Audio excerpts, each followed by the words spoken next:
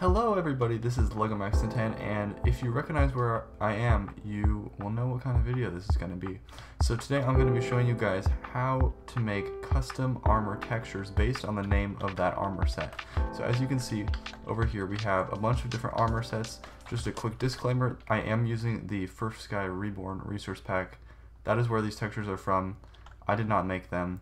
Full disclaimer, they're not mine. Anyway, I'm going to be making my own texture today just to show you how to do this. So as you can see we have a bunch of different types of armor sets. We have uh, Miner's Outfit armor, Speedster armor, Superior armor, Ender armor, and Necron's armor. Obviously there's more, and there's also leggings and boots to go with each of these sets.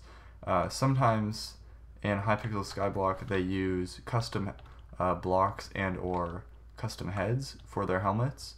So that's why sometimes these aren't uh, possible to override, or they're much more difficult to override with a custom resource pack based on the name. But today what I'm going to be showing you is just default Minecraft armors, how to override those. So as you can see, I now have a Speedster chest plate in my hand, and if I go to the anvil, so just so you can see that, it's called Speedster chest plate. If I go to the anvil, I can just rename it because almost all of these are using leather armor as their base. This is leather, this is leather, this is leather, this is chain, and this is leather. Um, so I could just override this and put this in here, rename it to Storm Armor. Nope, Storm's chest plate. And there you, there you go. We have a new Storm's chest plate in my hands. Uh, so yeah, this this texture pack is based on the name of the item that is in your hand. So if you've made it this far into the video, I'm assuming you have already watched my video on how to make custom uh, item textures such as weapons and tools. Uh, these are all textures from FurfSky Reborn, as I've already said.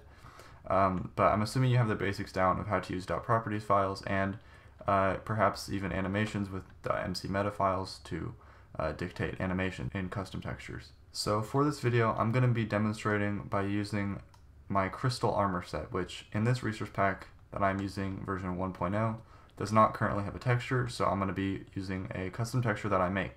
Um, so I guess I should go get on that right now, and I'll be back to you once I have a texture. So in order to do this, I'm going to be actually just going off of this default gold armor texture, um, because it provides a good uh, outline as to where my armor pieces should actually be located.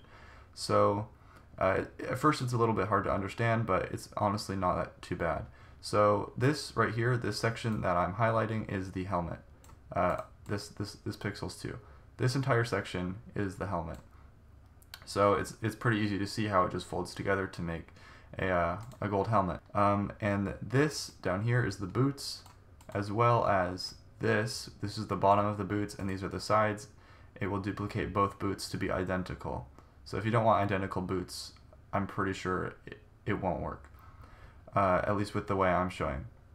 This whole section right here is the chest plate, uh, and there's obviously, you can see two sleeves right here, sleeve, sleeve, and then this section is the front, this is the back, and then these are the different pieces that go on the arms of the uh, chest plate, with this right here being the inside closest to the middle of the chest plate, and this section being outside, this is the top, this is the back, and this is the front. Oh yeah, and uh, I forgot to say that you actually have to have a separate file for your leggings because uh, they are actually on separate planes on your character. So I'm currently wearing diamond armor just to show, and I don't know if I can get my camera, but you can see the chest plate is slightly offset from the leggings, and uh, the boots are offset from the leggings as well. So they're the three pieces, the helmet, chest plate, and boots are all on one separate file while the leggings are on a different one because they are on different uh, physical layers.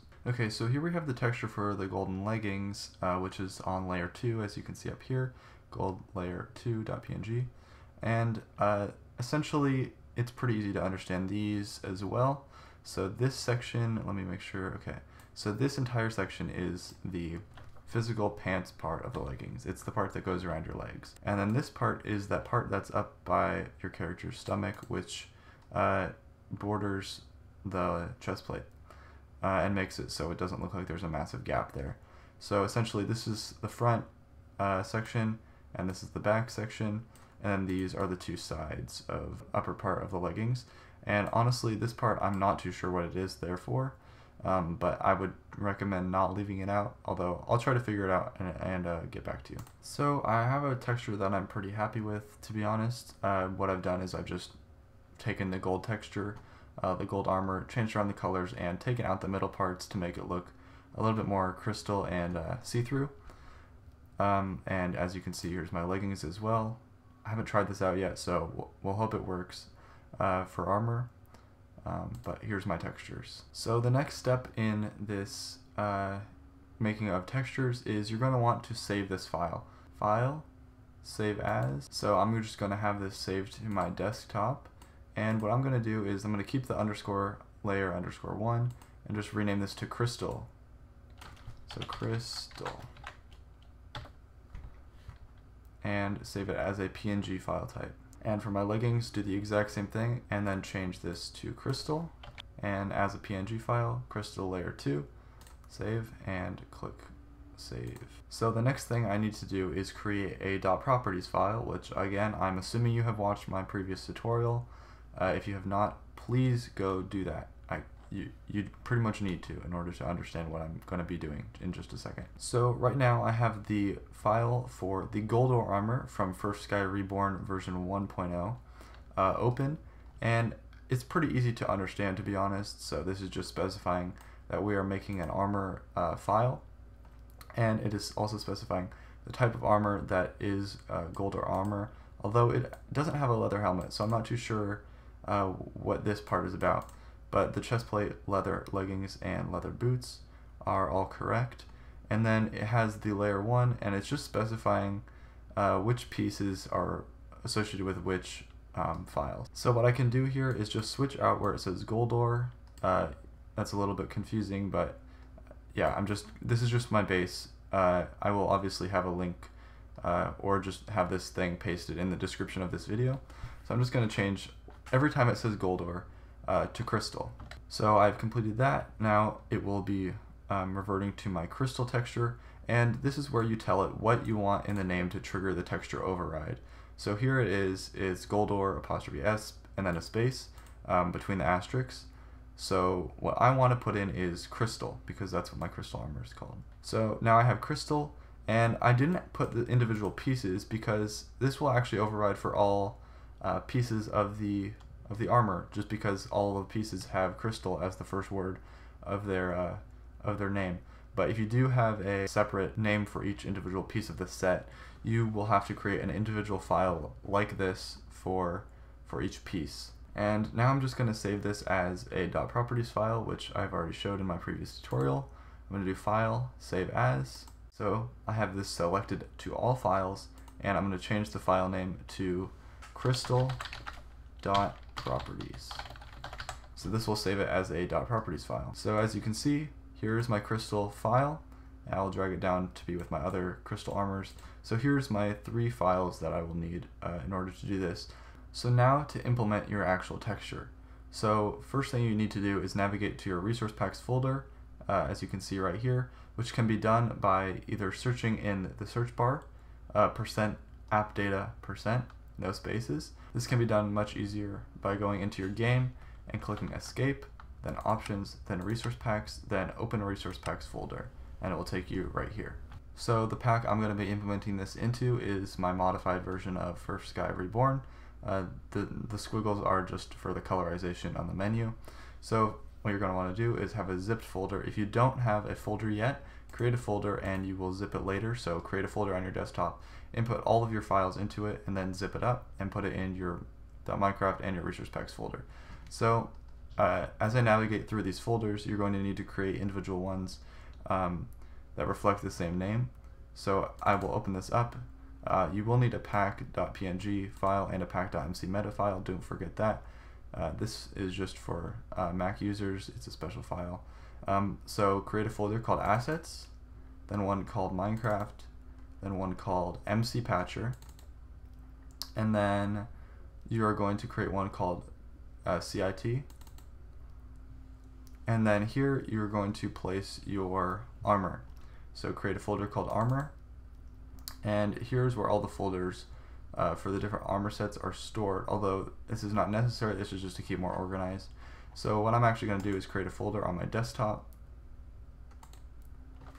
and call it crystal to match the name of uh, my armor sets in here, the same formatting, and just drag in the uh, files associated with that armor set. So your properties file and your two layers of uh, textures. So now I'm just going to drag this in to my armor folder uh, in my resource pack with the uh, so it needs to compress now. Okay, it has successfully compressed. As you can see, we have a crystal uh, file folder right here, uh, which can be opened and has all of the required uh, files. So now that I have this implemented, I'm going to go into my game and try it out. So I'm back in my world, and now I'm going to try to test and see if this texture works. So I'm going to grab some leather armor out of my inventory, crystal chest plate, so this is not concerning that it's actually not changing in the anvil menu because I have not added a an icon texture for this. Uh, so now I need to try it on to see if the texture works. And it does, look at that. So I have this special uh, texture for my crystal armor. So now I'm just gonna convert my other pieces to be crystal as well. And there you go, I'm in full crystal armor. This uh, armor set actually doesn't look that good, but that's not the point of this video. The point is to show you how to actually make the custom textures. So when I click E, you'll see it just looks like armor, uh, like just normal leather armor. Obviously that is no bueno, and uh, you will probably want to create uh, custom icons for those, uh, and those can just be saved in basically anywhere in your MC Patcher folder, as long as it's in the CIT folder inside of that MC Patcher folder. Uh, and it will work just like uh, these textures over here. Um, just follow my other tutorial on how to do these types of textures. Just use whatever your base item is, for example, like a leather chest plate like I have. Uh, just use that as your base and go from there. I think that's pretty self-explanatory, um, if you've watched the video at least. So, thank you guys for watching this video. Also, join my Discord so you can be notified whenever I post a new video or go live. Uh, it's a great place to hang out, and I'd love to have you there. Uh, if you found it helpful, please hit that subscribe button and also like the video because I do texture pack tutorials sometimes, not not very often to be honest, but I've done a couple. Uh, and yeah, if you if you found it helpful, just just subscribe.